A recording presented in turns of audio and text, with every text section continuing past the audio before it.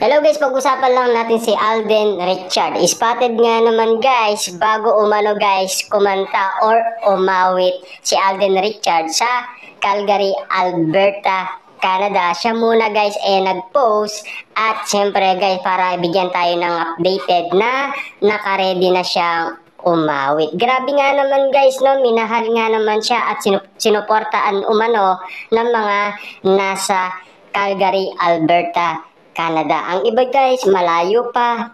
Ang iba dito guys, hindi na nagtrabaho umano para suportaan lang si Alden Richard. Ayan guys, kung mapapansin ninyo, siya muna ay nag-post at nag-update sa atin na siya ay aawit na at magsisimula na ang kanyang event sa Calgary, Alberta, Canada. Grabe nga naman guys, tignan nyo naman, papogi cute nga naman siya, ba?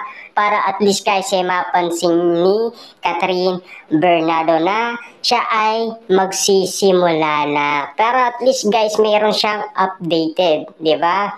Para at least kung sakaling hindi man siya nakapagpaalam kay Catherine Bernardo, at least alam ni Catherine Bernardo na nakapag-update na siya at magsisimula na ang kanyang event. Diba? Grabe nga naman kasi guys yung pagmamahal ng mga Pinoy sa mga artista natin. Kita nyo naman guys, kahit nagtatrabaho, hindi sila papasok para lang talaga mapanood si Alden Richard. Tulad guys nung unang pagdating ni Alden Richard sa Canada. Diba? Kita nyo naman, agad-agad pinagkaguluhan siya sa Canada at ang daming mga taong naghihintay sa kanila.